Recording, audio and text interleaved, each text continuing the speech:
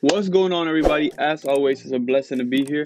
You're here with Eyouel Exchange. I'm the crypto Caressa, the Forex Finessa, and the stock successor. By that being said, guys, today's topic will be on how low will crypto go and when will crypto bottom out. So we'll be talking specifically about the technical analysis and how much money was lost in this pullback of crypto that just happened yesterday. And by that being said, before we even get into the video, guys, if you guys are new viewers or recurring viewers and you still have not subscribed, then I urge you guys to subscribe to this channel with the bell notification so you can be notified every single time I drop information packed videos, just like the one you're watching right now. By that being said, guys, let's get straight into this video after this beautiful intro.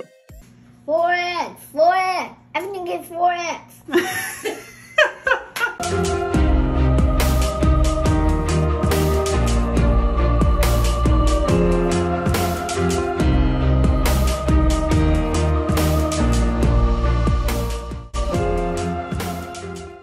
First thing is first, as always, we're taking a look at the whole cryptocurrency market cap in general. As you guys can see, it has definitely came down. It's at 1.8 trillion. 24 hour volume has pumped back up to 114 billion. Bitcoin dominance, Ethereum dominance covering the same. And you already know Ethereum gas fees, we skipping that one. But let's get straight into the news, guys. So, how much money has been lost with Bitcoin since the pullback occurred last night? It was a total of 230 billion decimated in massive red Friday yesterday. So technically yesterday night was Thursday and today morning today is Friday, but yesterday night and basically around midnight of today was the time that crypto was pulling back and a lot of cryptos, you know, following Bitcoin has even came down. And Bitcoin is currently hovering around 38,000 and we'll be taking a look at the whole technical analysis for Bitcoin, Ethereum, XRP, Baby Dogecoin, and Shiba Inu. We'll just be covering these five in this specific video, but I just want to tell you guys how much money has been pulled out of the crypto. Now let's get straight into the technical analysis aspect. Real quick, guys, before we even get into it, I quickly posted on Twitter. So if you guys are not following me on Twitter, then I urge you guys to follow me so you can get the quick updates like this. Bitcoin just hit 38,300 at 11 hours ago, so you guys could have been notified quickly. And I even posted this when it was coming down. But this is just a quick announcement. We can get straight into technical analysis. So there we go. We're in Bitcoin technical analysis. Bitcoin versus United States dollar. This video will be a deep, in-depth technical analysis on these five cryptos that I just mentioned. So let's get straight into it, guys. So as you guys can see, starting off, Bitcoin was an uptrend let me show you guys the way I like to do it. Right here. Bitcoin, this whole this whole side of the market right here was an uptrend. And what did it do? It came up, came down, came up, came down, and it is hovering around the strong support level. And I'll tell you guys why it got there. Let me show you guys real quick. There we go. So this trend line was very consistent when Bitcoin was going up and down, up and down in a continuous uptrend momentum. But it broke down below the support of the trend line and also below the support of the horizontal line. So let's dive in a little deeper. We're on the weekly time frame. Let's go to the daily time frame. All right, guys. And I've been telling you guys, crypto will be ready for pump. Big crypto pump is coming but there has to be a major pullback. Some may see this as a minor pullback, you know, and a lot of options were going to expire with around $138 million when Bitcoin price is below 38,000 and it's definitely coming down there, you know. But this is a strong support for Bitcoin as well. So as you guys can see, it did this long wick on 4th of December. It wicked all the way down to the trend line. Let's see, it was close. In my previous video, I told you guys it was around 1.82 percentage before even hitting the support trend line. Let me zoom in and show you guys. You see, it was around 1.2 or like less than less than that. Yeah, even look at that. Yeah, 0.33% before even hitting the trend line. That's how close it was to come and testing the support. So it definitely came and did what it expected it to do, but also what it did do was a quick rejection. So pull, quick pullback, but no big money want to get in at the $40,000 level and no smart money or big money, you can call it whatever you want. Nobody wants to be in at the 68,000 level or even the 50,000, 40,000. these people in these zones, the people that are buying up here are the ones that are losing their money because let me explain to you. When they see the price going down, they're going to quickly shift and sell their positions. They don't know anything about holding. They're not accustomed to the markets bleeding. And it's always good when the markets bleed and they will attract people to, to get out of their positions. That's when you enter. Whenever you see these pullbacks, dollar cost your average entrance and your, your point of entry on these markets. It can be crypto, forex, stocks, and then you can get in at a better position and the price will be on your side. But that's the main reason people on this side that bought are losing because they keep selling their positions because the smart money and the big money are trying to get at the support level here of 38,000 and below. And I'll tell you guys how low Bitcoin can go, honestly speaking. It's always an upside, but it has to hit these major lows before it can reverse back up and keep going up. So now it's currently at 38,470. And if we just scroll up quickly, it came all the way down to, look at this, 37,719. So that's a percentage drop. Let's even do the percentage drop from yesterday and see how low did it go. You see, 13.34 percent is how low it came from yesterday's price point. That's a $5,000, $804 loss in the price movement that Bitcoin just did. But we're at the support level and we have seen how low it already came and how strong is this support. This support is pretty strong, but it's not as stable and it wasn't as consolidative as this one. As you guys can see, this was super consolidated, but it went up and down from the bottom price range of 39,639 to all the way up to 45,215. And this was where the price was trying to mimic the same exact movement happening over here in October 2021. Let me show you guys. As I told you guys, this is an in-depth. So subscribe to this channel, guys. I'm giving you guys great information. But you guys can see here, same type of mimicking movement occurring, but something had to give. The uptrend momentum or the resistance up here was extremely strong, the same as this one, but it did not break through it because there wasn't enough buying power. So what did it do? It came to test it, but hey, I am weak right now. There's too much people shutting the roof down. I couldn't break through the roof, so came all the way down and busted through the bottom. So it's a mimicking price action that was going on, and it broke through the bottom while this price on October or September 31st or October 1st broke above the resistance to the top and kept going. So this is another major support level at $38,000. As I told you guys, price came down around $37,700. But if price breaks below this level, how low can Bitcoin go? This is a specific question that we all need to answer and be smart with our answer because as much as we all love to see crypto doing very well, we have to be realistic with the numbers so our expectations will not be diverted when these numbers go below what we're expecting them to go. So being real, I can definitely see this as a strong support level. But then again, guys, it can go up. If it goes up, it's going to test this level as a resistance of 41,640. So, and this is a very major strong resistance. Even if it passes through 41,640, the strong major resistance is at 44,410. So it has two resistances to go to, but the support is already there and it only has one major support to go to after this level of 38,664. The next support level is around 34,150. Let's go to the weekly time frame.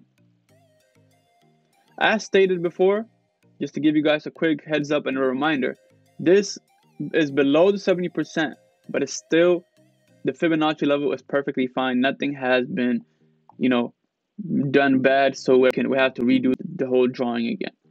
So the next support level I see, as I said, is around this level, 34,000 over here.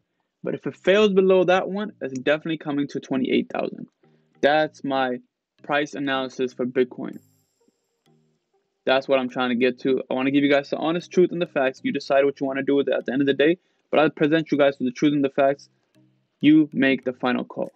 Moving on to XRP. We already know these prices are rigged. So I'll just give you guys a technical analysis on what we are seeing currently for XRP. But this is definitely not where XRP should be. By that being said, where can I see XRP going?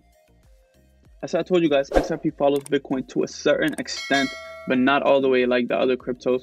Which I mean, I'll show you guys when I go to Ethereum how low Ethereum has came to. So big, so XRP for the whole week has came down 15%. And if we go down to the daily time frame, yeah, since yesterday alone, XRP has came down 9.57%. Okay, I have already drawn the support levels for XRP, so I can show you guys where the next price point is headed. Just like Bitcoin, it made this wick on December 4th, and it came back up to test resistance at a dollar, and it was too strong.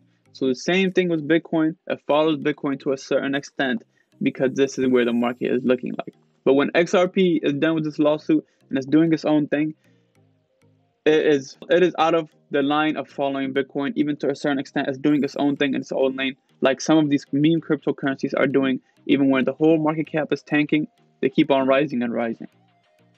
And you guys can see the support level over here of 65 cents is the one I already called for XRP. I told you guys it will come down here because this was not looking like a good support level and, and good resistance because this was already too strong of a resistance that had to come down test something which it definitely did. It came all the way down to the next support level of 66 cents.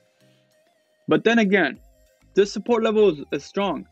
But if something happens and on fundamentals, for example, such as the news, something comes up with the SEC or Ripple, something bad happens, or even if it's a good case, but the crypto market in the whole is going down, then I can see XRP coming to these support levels of 53 cents definitely I can see it coming down. If something ticks off in the markets, I can see it coming down just like the other cryptos at 53 cents. That's why I drew these support zones. So when it happens, I'm ready to call it out and tell you guys, hey, it happened. This is what you need to do. You know, I'm not financial advisor by any means, but what I would do if I was in your positions. And this is the minimum of the lowest, lowest, lowest support level I would expect XRP to come to. But I won't even touch bases on 21 cents unless it even comes below the 52 cents. If it comes to 52 cents and we have 21 cents, as another viable support for XRP. So moving on to the next cryptocurrency in line, which is Ethereum.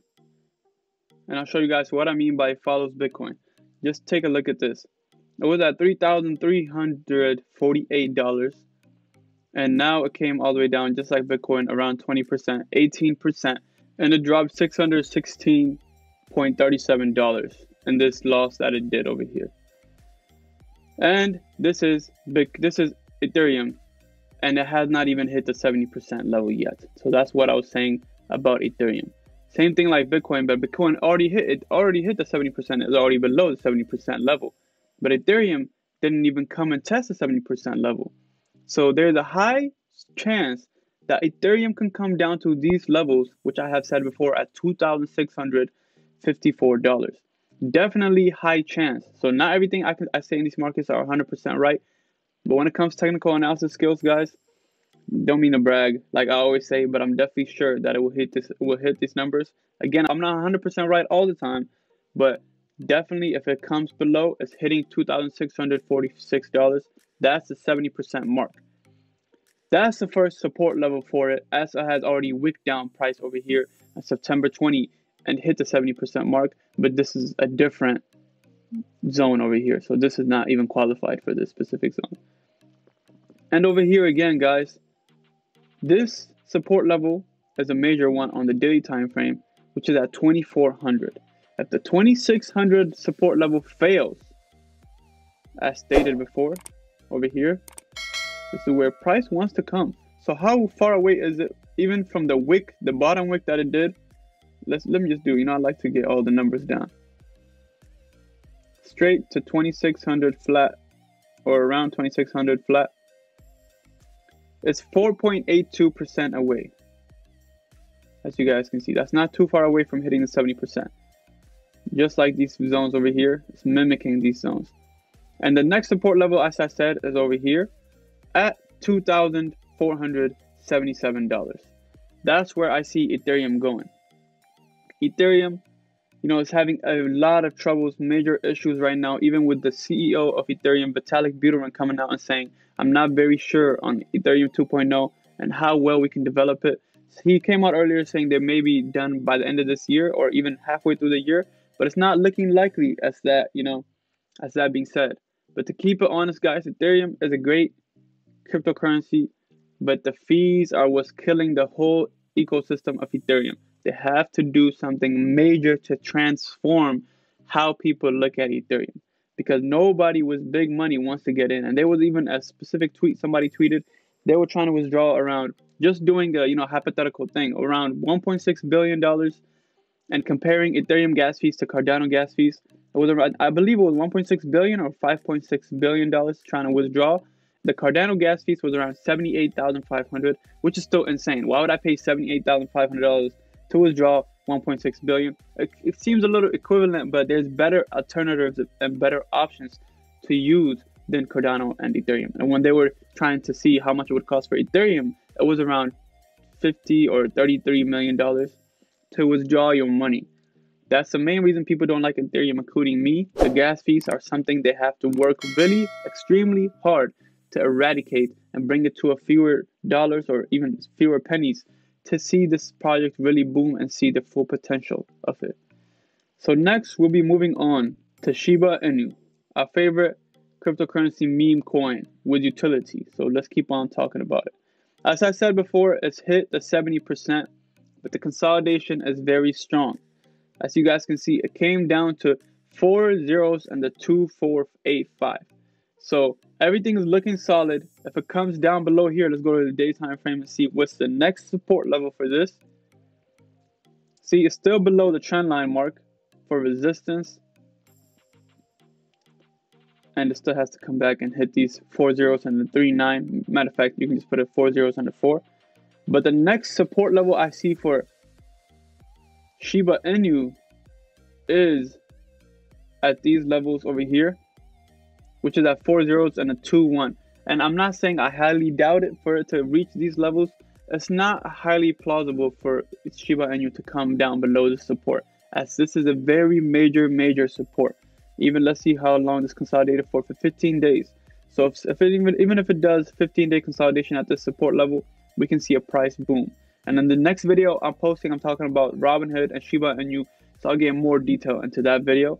But taking a look at Shiba Inu from here, this looks like a major strong support. But if it falls down below, I already told you guys where it's headed. But I highly doubt the fall of Shiba Inu. And the next one is Baby Doge. So as I have said it before, let me let me correct this. It broke the previous all-time high of 2021, but not the all-time highs of all-time highs because all-time highs are around eight zeros and the eight. In the last video, I was saying six zeros, and I corrected it. It's definitely eight zeros, guys. If it was six zeros already, it would have been big news.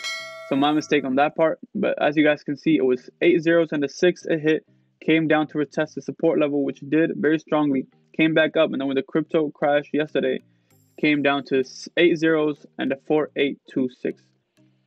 And it is hovering in that zone. So this is a specific zone that Baby Doge is stuck in between the resistance and the support level. So I can quickly show you guys over here. So yes, resistance and support level is definitely stuck between those two markers. And that's what I see for Baby Dogecoin. I don't see it moving too much because it has moved up high but it's also burning every single day. Like I said, they're implementing a lot of catalysts for, for Baby Dogecoin, and many things are in place for Baby Dogecoin. Just have to wait on it, but it has very strong support level as seen, as I have already cracked above the previous all-time high, and is still stabilizing above the previous all-time high. And that's the major news for all these cryptocurrencies. So thank you for watching so far, guys. I know it's a long video, but it's an in-depth video, so I want you guys to understand what's really going on in these markets and how low can the prices of cryptocurrencies come before they shoot right back up. So don't be too don't make it seem too dramatic when you see these price actions in these cryptocurrencies. Just stay on top of your games. As always, stay vigilant in these markets and stay strong and don't sell too quickly and only put in as much as you're able to afford to lose. So by that being said, guys, subscribe to this channel Share this video with all your family members and anyone that's interested in the financial market so you guys will be financially thriving and financially successful instead of just being financially stable. By that being said, guys, again, subscribe to this channel. God bless you guys. I'll see you in the next video. Peace out.